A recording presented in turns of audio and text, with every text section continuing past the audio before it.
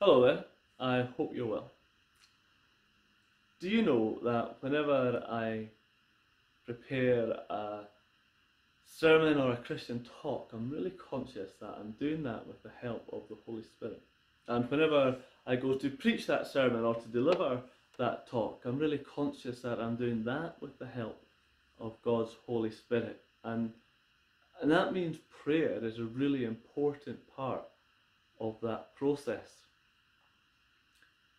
But there's something from when the words leave my lips to when they go into somebody's ears, there's something that is truly amazing that happens.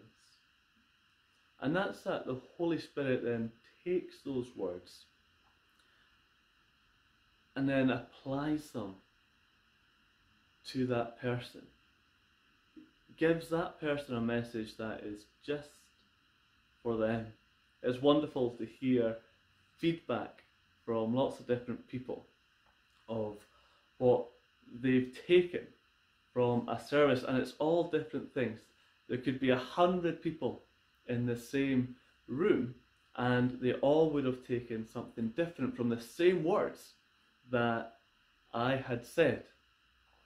And that is the Holy Spirit that's that's teaching them and and making connections in their mind and revealing to them stuff about the character of God. Also, hopefully, uh, checking what uh, I'm saying up the front and, and alerting them if there's anything suspicious.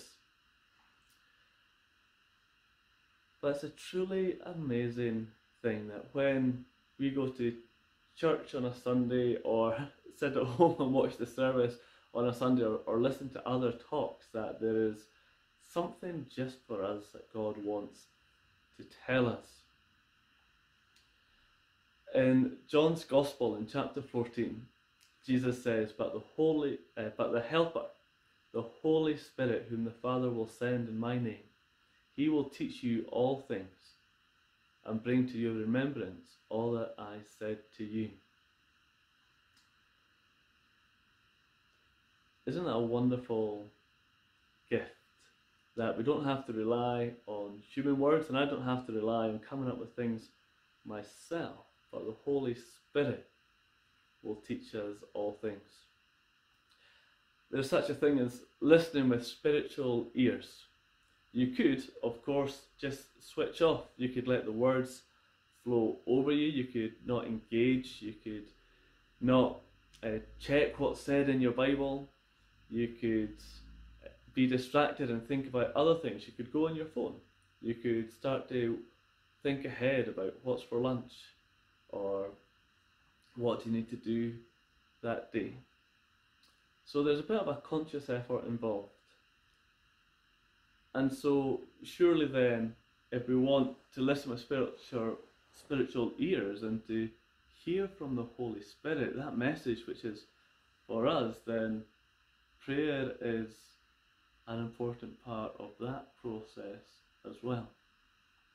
So, my challenge to you as Holy Week approaches is are you going to listen with spiritual ears? Are you going to engage and invite the Holy Spirit in to teach you new things and to help you see things afresh? Let's pray now.